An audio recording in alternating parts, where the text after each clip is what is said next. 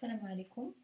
Donc euh, aujourd'hui on va voir ensemble la correction d'un nouveau exercice euh, qui est très très proche de l'exercice qu'on a déjà vu ensemble euh, dans la vidéo précédente. C'est un exercice type qui traite la fondation et les terrassements d'un mur de fondation via un mur périphérique brise.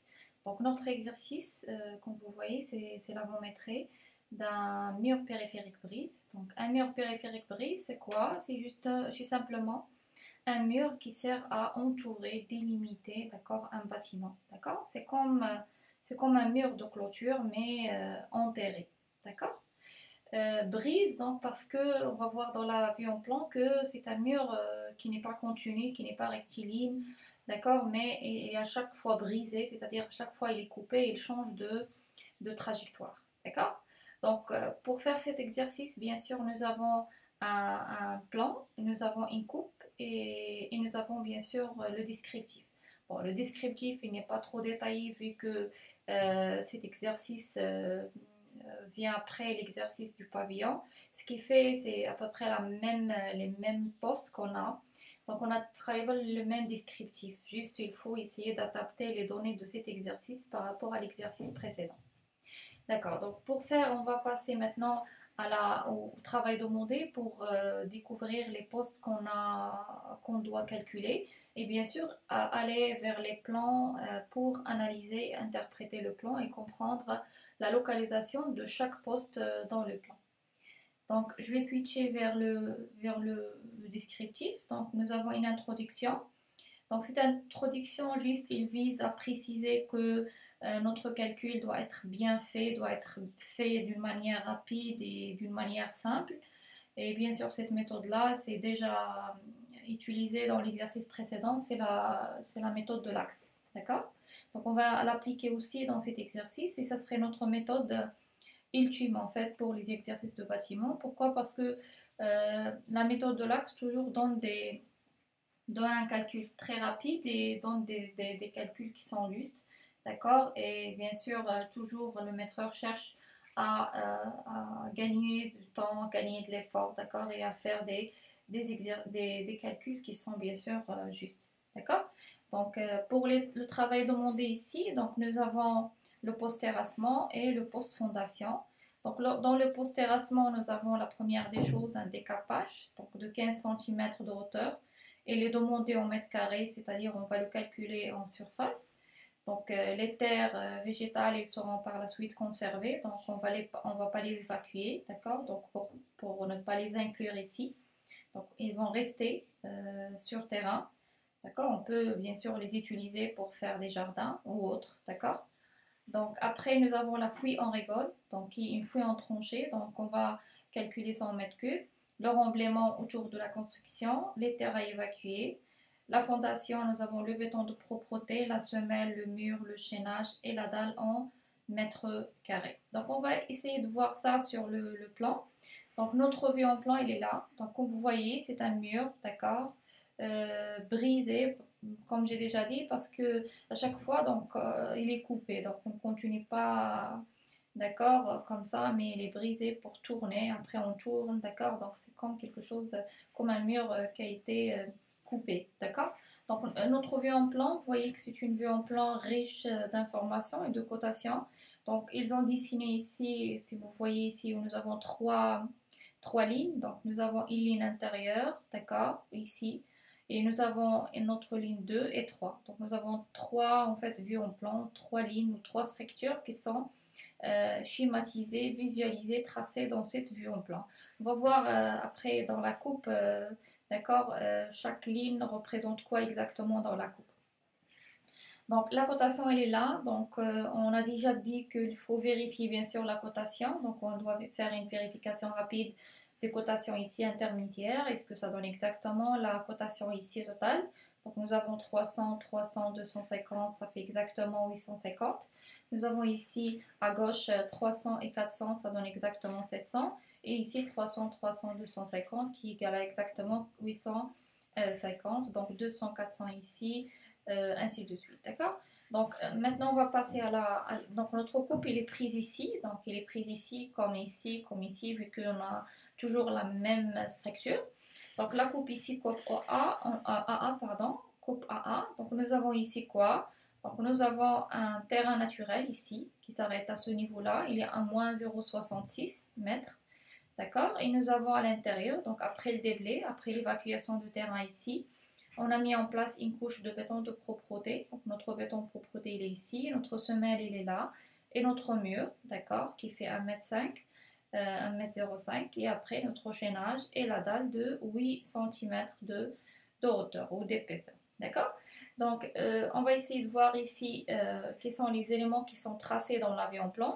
Donc, euh, ici, nous avons en fait une, coupe, ce qui fait que la ligne extérieure ici, la ligne extérieure, ça, de là à là, de là à là, elle représente quoi? Elle représente la fouille. D'accord? Donc, de là à là, il représente 50, pour 50 cm. Et après, bien sûr, il faut tracer les deux lignes extrêmes de semaine qui sont là. D'accord? Après la, limite de fouille, nous avons la limite de deux semaines. D'accord? Et après, au milieu ici, nous avons notre, notre mur. D'accord? Donc, à l'intérieur, c'est le mur. Après, c'est la limite de la semelle. Et après, c'est la limite de, la fouille.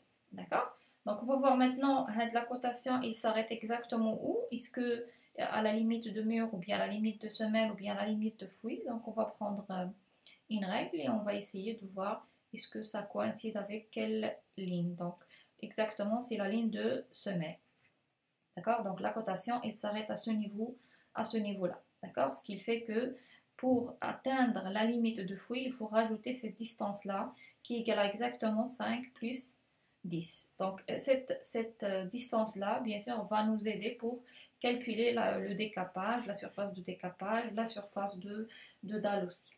D'accord euh, donc, euh, mais notre remarque, donc on peut remarquer aussi que par rapport à l'exercice précédent, on avait deux niveaux de terrain naturel. Donc, dans le pavillon, on avait un niveau de terrain naturel intérieur un peu plus bas, d'accord Plus bas que le niveau de terrain naturel extérieur. Donc, ici, on a le même niveau. Ça veut dire quoi? Euh, donc ça veut dire qu'on n'a pas fait de fouille en plein masse, d'accord? Donc si vous voyez que le niveau de terrain naturel extérieur euh, exactement il est égal au niveau de terrain naturel, ça veut dire qu'on n'a pas fait de fouille en, plein masse, ce qui fait qu'on n'a qu'une seule fouille en régole. Et notre fouille en régole, c'est celle-là. D'accord? C'est celle-là en fait. Donc c'est une, euh, comment dirais-je, c'est un parallélopipède rectangulaire, c'est-à-dire pour calculer son volume, tu as besoin de la largeur ici, tu as besoin de la hauteur ici. Bien sûr, la hauteur, on va la calculer à partir de terrain naturel. Donc, vous voyez ici que le 0, 0, il est sur la dalle, d'accord? Donc, on va appliquer la formule pour calculer la hauteur de fouille. Donc, la hauteur de fouille, elle démarre à partir du niveau de terrain naturel jusqu'à fond de fouille. Donc, le fond de fouille, il est, ici à moins 1,70 m et notre terrain naturel, il est à moins 0,66 D'accord? Euh, Bien sûr, on aura besoin de la, la longueur et la longueur, bien sûr, on va passer à la à notre vue en plan pour tracer notre axe au milieu ici et calculer son périmètre, d'accord, euh, en utilisant bien sûr la cotation qui est à l'extérieur et bien sûr en faisant un calcul très très minutieux pour ne pas faire euh, des erreurs parce que ces erreurs vont être, euh, ils vont impacter en fait le calcul de la fondation vu qu'on va travailler avec le même axe, vous voyez ici que l'axe de symétrie de la fouille, c'est le même que le mur, c'est le même que la semelle, c'est le même que le béton de propreté. Donc, ils ont tous, ou toutes les structures, tous les éléments ici, tous les éléments ici, ils ont le même axe de symétrie. Ce qui fait, si on calcule euh, l'axe de symétrie de la fouille, alors on va automatiquement calculer la longueur de semelle, la longueur de mur, la longueur de chaînage et la longueur de béton de, propreté. Ce qui fait l'exercice est un exercice très très simple. Euh, la difficulté euh, numéro 1, c'est de bien calculer la longueur de la longueur de fou. Sinon, ça va être juste euh, un, d'accord, un copier-coller des dimensions qui sont là avec les dimensions qu'on a là pour remplir et rédiger notre tableau de métrique. Donc, notre, notre poste numéro 1, c'est notre décapage. Donc, le décapage, il est de 15 cm. Donc, vous voyez toujours, euh, en fait, on connaît la hauteur, mais euh, le décapage, la plupart du temps, on le calcule en, en mètres carrés. Donc, pour calculer le décapage, j'ai déjà expliqué ça, c'est qu'il faut essayer de calculer la surface limitée par la fouille, d'accord? Par la limite de la fouille, ce qui fait votre surface de, euh, décapage, elle est là, d'accord? Mais il faut bien sûr s'arrêter à la limite extérieure de fouille. Euh, j'ai déjà signalé que, bien sûr, dans la réalité, le décapage ne concerne pas juste la limite de fouille, mais normalement on déborde. Euh, on dépasse un peu la limite de fouille pour la mise en place des appareils, pour les, pour les ouvriers pour les matériels pour travailler d'une manière propre. D'accord? Sur un terrain déjà stable d'accord? Donc ce qui fait que normalement on déborde d'un mètre de deux mètres donc ça dépend de la euh, de la disponibilité de terrain ici donc je ne sais pas la disponibilité de terrain ici je n'ai pas de données sur le descriptif ce qui fait que je vais me limiter vers la limite euh, extérieure de la fouille. Donc vous voyez que c'est une surface qui n'est pas simple et qu'il faut bien sûr la décomposer. Mais ici le but, d'accord, ou, l'objectif, c'est de faire une bonne décomposition de la surface de décapage. Faut pas trop décomposer, il faut aller vers la méthode la plus optimale, comme on a déjà dit, toujours chercher le, les formes, le minimum de formes. Et bien sûr, il faut que la décomposition soit euh, simple, d'accord, soit simple à, à calculer. Donc je vais redessiner un, peu euh, la surface que j'ai, juste pour expliquer la méthode qu'on va, qu'on va adopter. Donc j'ai un, une vue en plan euh, comme ça, donc je peux prendre ici juste l'énoncé, d'accord? Donc j'ai ici une vue en plan comme ça.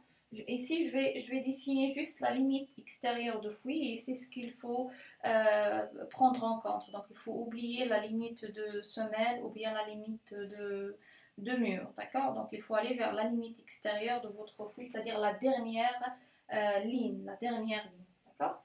Donc, j'ai ici une droite, encore ici. Je descends. Je descends encore plus. Je monte comme ça.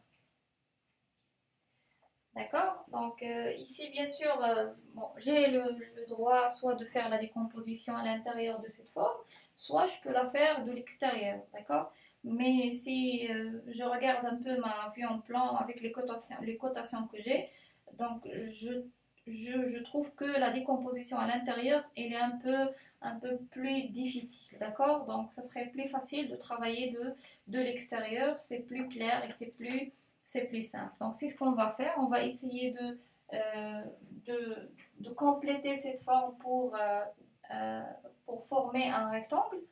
Donc, ça serait un rectangle de, de, de cette forme, d'accord? Donc, on va continuer la ligne ici continuer notre ligne ici et notre ligne ici. D'accord? Donc ça va être un, rectangle, d'accord, avec longueur et largeur.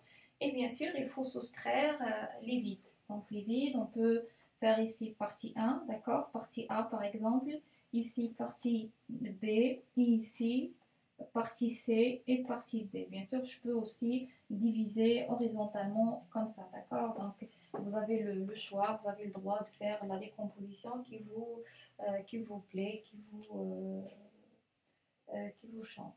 D'accord? Très bien, donc nous avons une surface pleine, moins la surface, moins quatre surfaces creuses. Donc pour trouver les dimensions, je dois aller voir la, la vue en plan. Donc j'ai une vue en plan donc le fait que je connais que la cotation il s'arrête au mur, ce qui fait à chaque fois je dois rajouter 15 cm de ce côté, 15 cm de ce côté, donc ça va, euh, ça va être plus simple. Donc ici je vais prendre la longueur qui est la plus grande, donc j'ai 8,50, d'accord, 8,50. Je vais rajouter 15 cm de ce côté, 15 cm de ce côté, donc ça va être 8,8, d'accord, 30 plus 850. Euh, de l'autre côté aussi, j'ai 7. Donc, je vais rajouter 15, 15. Ça va être 7, 7, 30. D'accord? Donc, on va essayer de rédiger ça euh, doucement. Donc, nous avons premier poste 1. Donc, c'est terrassement.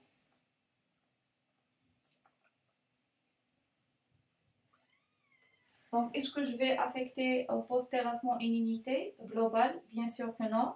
Pourquoi? Parce que j'ai un décapage qui doit être calculé en mètres carrés et j'ai les fouilles qui doivent, la fouille qui doit, euh, qui doit être euh, calculée en mètres cubes. Donc j'ai différentes unités, ce qui fait que je garde l'unité pour chaque, chaque poste.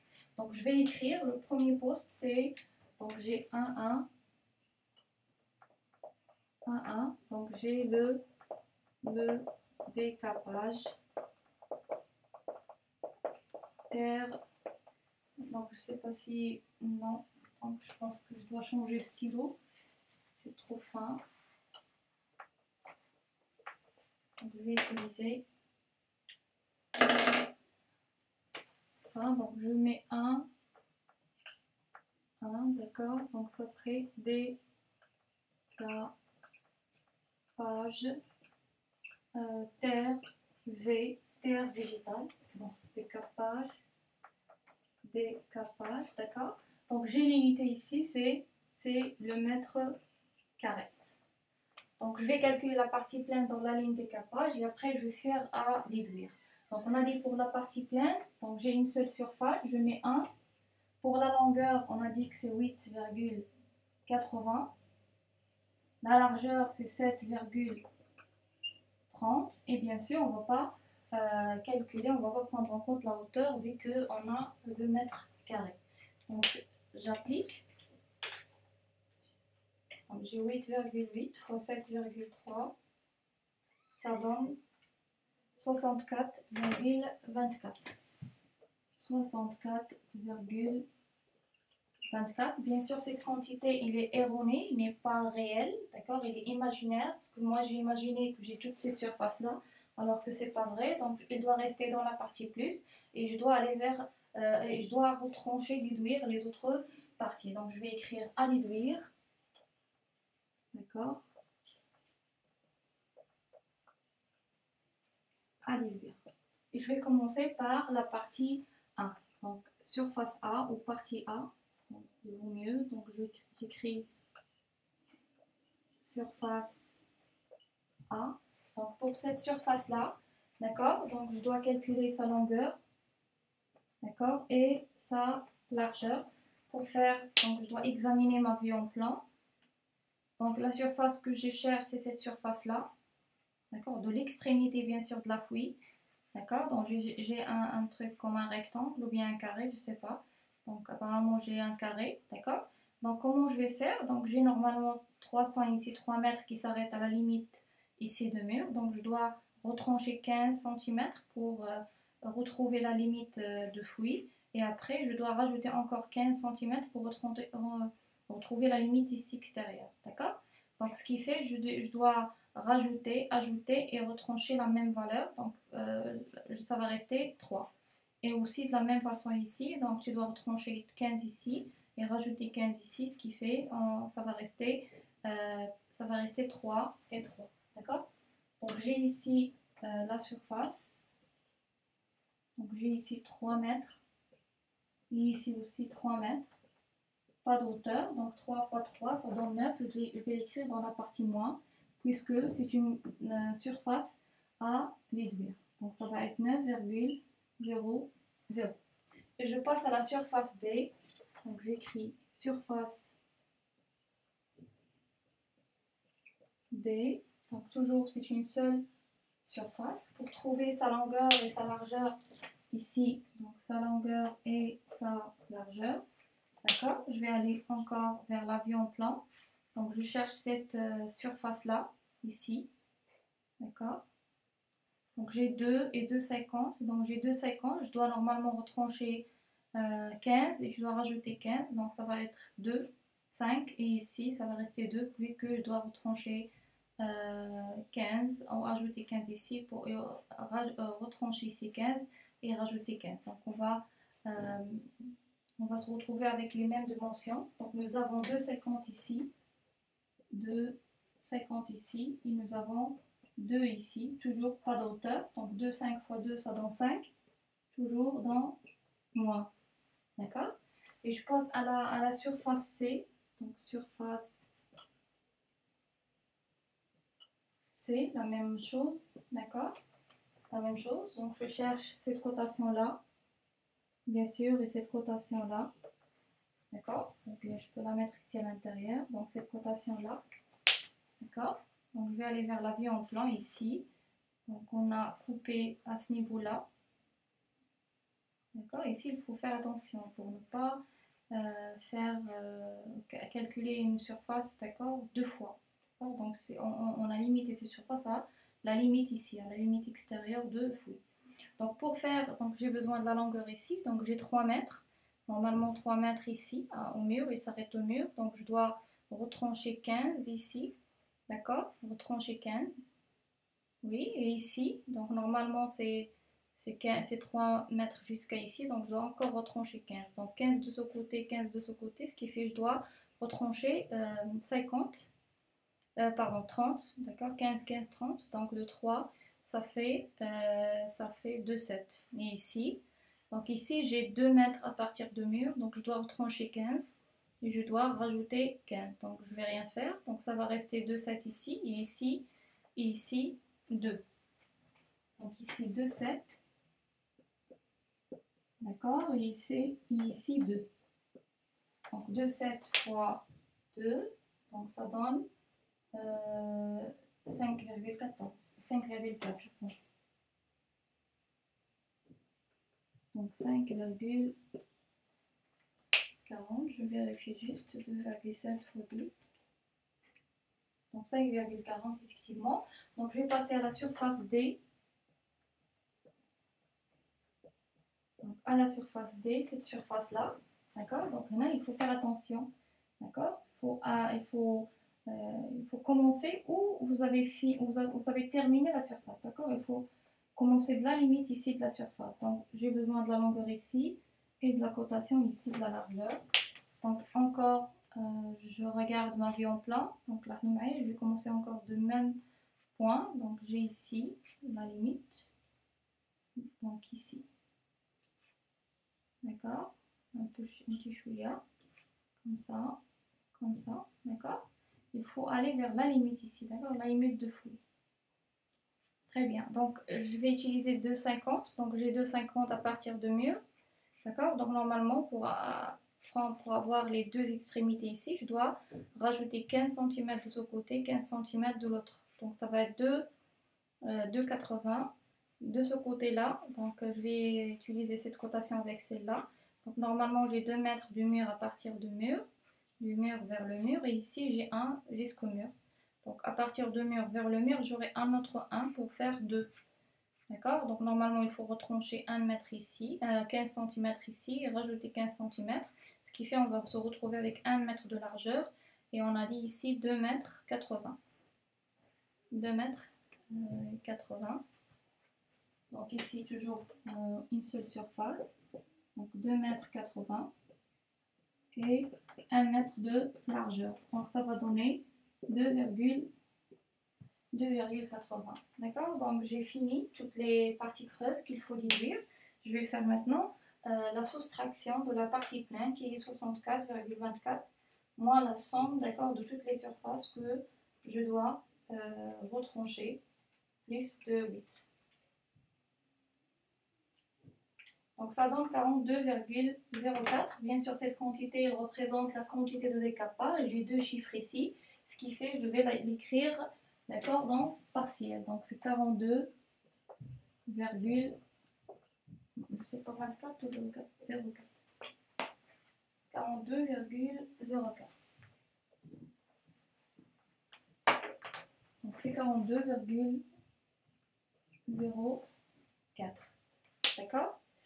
Donc on a fini le décapage. On va passer à la fouille en rigole. Pour, pour la fouille en rigole, on a dit la méthode. On a expliqué la méthode dans la vidéo numéro euh, précédente. Donc je pense que c'est la séance 26, euh, c'est ça? La séance 26 ou 25 où, j'ai expliqué la méthode et on a même expliqué, on a même tracé l'axe de symétrie sur une vue en plan sur le, le tableau. Donc ici, je ne peux pas tracer la vue en plan. Donc euh, on peut faire ça, d'accord, d'une manière un peu schématique sur la vue en plan qu'on a ici. Donc vu ici qu'on a une seule fouille, donc on n'a pas de d'intersection avec d'autres fouilles, il faut juste aller vers le milieu ici et tracer votre, d'accord, votre ligne ici à l'intérieur, d'accord Et marquez votre point de départ et votre point d'arrivée. Donc, je vais mettre A ici, B ici, C, D, E, F, G, H, I, J, K, L, ainsi de suite. Et c'est juste, euh, d'accord, une somme de toutes les, les, les que j'ai ici. Donc, par exemple, ici, normalement, de A, B, C, ça va être au milieu, Ça va être combien Donc ça va être 3. D'accord Et je dois retrancher le milieu de mur. Donc pour ça, j'ai besoin de la largeur de mur. Donc j'ai combien ici 20 20 on va dire 10 et 10 d'accord donc غنقص 3 من 20 d'accord donc تولي عندي جوج 80 ici encore غنجي عاوتاني من هنا لهنا juste le milieu ici d'accord وغادي نخدم بهاد 2 d'accord donc je vais retrancher encore هنايا كان هنا 10 ici 10 donc من 2 غتولي 1 1,80 ainsi de suite donc je continue comme ça d'accord donc c'est un calcul qui, qui, est simple juste il faut être un peu vraiment euh, faire les calculs doucement et faire les calculs d'une manière un peu stricte.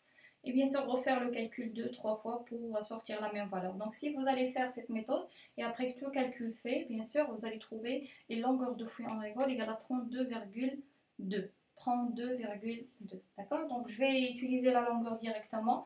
D'accord? Et normalement, vous n'allez pas trouver de problème pour la calculer personnellement. D'accord? Euh, donc on va faire, on a un 1, donc on va faire 1, 2 maintenant. 1, 2, fouille. D'accord Fouille. On rigole. Donc l'unité c'est le mètre, mètre cube. D'accord Et je vais écrire automatiquement la longueur, d'accord Qui est 32,2. Maintenant la largeur de la fouille bien sûr, la largeur de fouille, je peux l'avoir ici, d'accord Donc c'est de la limite, c'est 50 cm. Donc je vais mettre ici 0,50. Maintenant, pour la hauteur de fouille, on a dit il faut euh, se méfier par rapport au, niveau, euh, à la hauteur de fouille par rapport au niveau. Yani, euh, donc le fond de fouille un niveau, d'accord, moins quelque chose, d'accord. Donc méfiez-vous que ça ne reflète pas ou ça ne représente pas toujours la hauteur de fouille. Donc le niveau de fond de fouille n'est pas toujours égal à la hauteur de fouille. Pourquoi? Parce que le niveau de fond de fouille, comme vous savez déjà que un niveau, il est, il est calculé à partir d'un point de référence qui est le 0,0. Maintenant, le point 0,0, c'est un point fictif. C'est un point, et je peux le mettre où je veux. Je peux le mettre sur le, terrain naturel, je peux le mettre sur la dalle, sur euh, n'importe quelle hum, ligne, d'accord? Donc c'est un point qui n'a pas de sens réel, d'accord? Un un déblé ou une fouille, non. Un je commence la fouille à partir du terrain naturel. D'accord? Donc je commence à partir du niveau initial de mon terrain. Pour le connaître, bien sûr, je vais faire la continuité de la ligne de terrain. Donc est le terrain naturel ici? Bien sûr, mon terrain naturel, il est là. Ça, c'est le terrain naturel intérieur, vu que ça, il est sous la dalle. Et ça, c'est le terrain naturel extérieur. D'accord? Extérieur. Donc ici, je trace, d'accord, je trace ici la limite, d'accord, même moi, je... C'est-à-dire, on était là, en premier, avant la mise en place de béton de propreté ou la semelle ou le mur, on était à ce niveau-là. Ce qui fait que je ne peux pas la déblayer, il n'y a rien, il y a le vide ici, il n'y a rien. Le terrain commence à partir de ce niveau, ce qui fait que les déblais vont commencer de ce niveau. D'accord? Donc, pour faire le calcul bien sûr la hauteur doit être le niveau jusqu'à jusqu'à fond de fouille donc y a la hauteur de fouille il y a la hauteur de la hauteur de la hauteur de d'accord? Donc on a déjà donné la formule de calcul. Il faut l'appliquer. Sans avoir de doute. D'accord? Donc c'est on a dit que c'est la hauteur de fouille est égale à quoi? La hauteur de fouille, c'est la, valeur absolue de niveau de fond de fruit moins niveau terrain naturel. C'est tout. D'accord? Donc, niveau de fond de fruit. Où est le niveau de fond de fruit C'est ça le fond de fruit. C'est ça le fond de fruit, le fond de fruit. D'accord? Où je me suis arrêtée. D'accord? J'ai fouillé, d'accord? J'ai déblayé, j'ai creusé. D'accord? Et après, on euh, le niveau. Donc, là, où est le niveau de fond de fruit D'accord? Le niveau de fond de fouille, donc il est à moins 1,70. Maintenant, pour la formule, il faut garder les signes. moins, il faut écrire moins, plus, regarder plus. D'accord? Donc j'ai moins 1,70, moins, moins, moins, dire la formule. Niveau de terrain naturel. Il est où le niveau de terrain naturel Toujours on travaille par le niveau de terrain naturel extérieur. Mais chez le, terrain naturel intérieur, parce que le niveau de terrain naturel intérieur peut changer euh, par, par exemple, la réalisation d'une feuille en, en, feuille en pleine masse ou une feuille en excavation qui fait l'exercice précédent. Donc, je suis toujours le terrain naturel extérieur, pas intérieur. Bien sûr, tu verrais la structure. Donc, comme la structure elle continue ici, ce qui fait que là, on est à l'extérieur. Donc, il est à moins, parenthèse, moins 0,66. Et bien sûr, application numérique. a moins 1,70, moins moins ça fait plus, plus 0,66, ça donne 1,04. D'accord Donc 1,04. Donc je vais écrire ici, la hauteur c'est 1,04. Donc c'est très simple, c'est très simple. D'accord? Donc j'applique, j'ai 32,2 fois 0,5 fois 1,04. Ça donne 16,744. Et bien sûr, cette quantité, puisqu'elle représente la fouille, j'ai deux chiffres, donc je vais l'écrire ici. 7,744. D'accord? D'accord. Donc euh, cette euh, vidéo, donc on va voir, on, va s'arrêter ici dans la fuite parce que je dois euh, effacer tout ça pour continuer le remblaiement terre à évacuer et autres. D'accord? Donc on va on ça c'est la partie 1. On va se voir dans la partie 2 de la, de la vidéo 27. D'accord?